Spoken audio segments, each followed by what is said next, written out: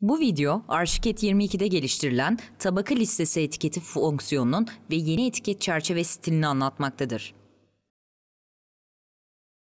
İlk olarak tabaka listesi etiketi geliştirmelerine göz atalım.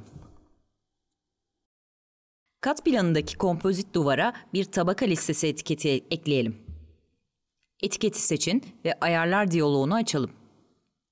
Sembol etiketi özel ayarlar panelindeki genel ayarlar sayfasına geçelim.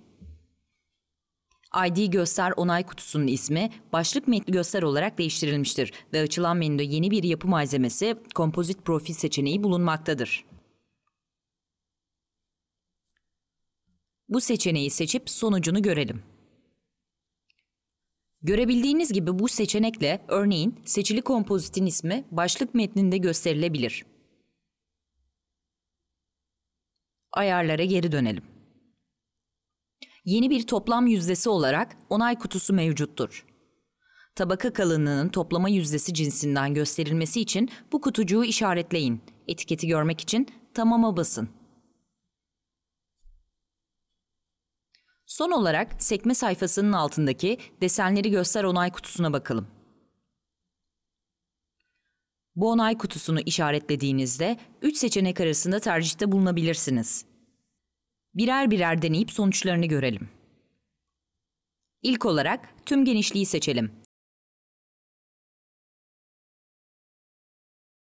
Bu, tüm metin alanını kendisine ait dolgu ile kaplayacaktır. Yalnızca isim seçeneğinde ise tabakaların sadece isimleri dolgu ile kaplanır. Yalnızca çıkıntı seçeneğiyle çıkıntı uzunluğu için bir değer girebilirsiniz. Bu, tabakaların dolgularını isimlerin yanında ekrana getirir. Şimdi bir etiket çerçevesi stili görelim.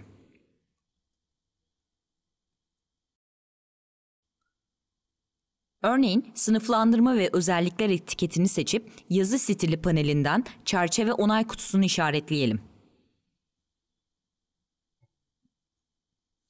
Sembol etiketi özel ayarları panelinin genel ayarlar sayfasına geçelim. Bölünmüş ilk satırlı stil 7 olarak isimlendirilen yeni bir çerçeve stili bulunmaktadır.